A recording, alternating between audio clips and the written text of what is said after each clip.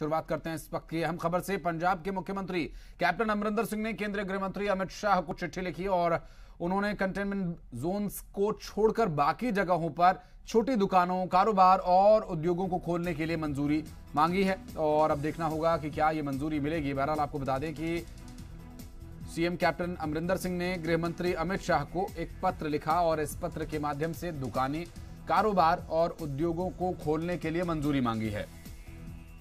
दरअसल गृहमंत्री अमित शाह को लिखे पत्र में क्या कुछ ज़िक्र किया गया है? बात करेंगे हमारे संवाददाता कुलवीर दीवान से। कुलवीर गृहमंत्री को पत्र लिखा गया पंजाब मुख्यमंत्री की तरफ़ से। क्या उसमें मांग की जा रही है? क्या कुछ है पत्र में? देखिए, पत्र इसलिए लिखा जा रहा है क्योंकि पंजाब सरकार अब ये भी सोच रही है कि आर्थिक तौर पर भी कहीं ना कहीं पंजाब को अब कुछ आगे जो है वो बढ़ना होगा क्योंकि काफ़ी ज़्यादा कंडीशन जो है वो सरकार आर्थिक तौर पर पंजाब की बता रही है। तो ऐसे में ये परमिशन मांगी गई है कि जो छोटे उद्योग हैं या फिर जो दुकानें हैं, उनको खोलने की परमिशन दी जाए ताकि कुछ ना कुछ आर्थिक तौर पर गति प्रदेश बने। इसके साथ ही जो जो भी सहायता केंद्र से मांगी है, चाहे वो जीएसटी का बकाये की बात हो या फिर और कोविड नाइन्टीन से लड़ने के लिए और भी आर्थिक पैकेज जो है, वो कई मांगे हैं चाहे पावर सेक्टर के लिए हो या फिर और जिस तरह की मदद जो है वो पंजाब ने केंद्र से मांगी है। वो सारी याद एक बार फिर से केंद्र को दिलवाई है ताकि आर्थिक तौर पर भी पंजाब को कुछ ना कुछ एक ये कहें कि बल मिले। लेकिन कुलवीर, अभी चूँकि इस वक्त जो स्थिति है रेड जोन ऑरेंज जोन और अलग अलग जो जोन्स हैं, उसके हिसाब से भी केंद्र सरकार विचार कर रही है।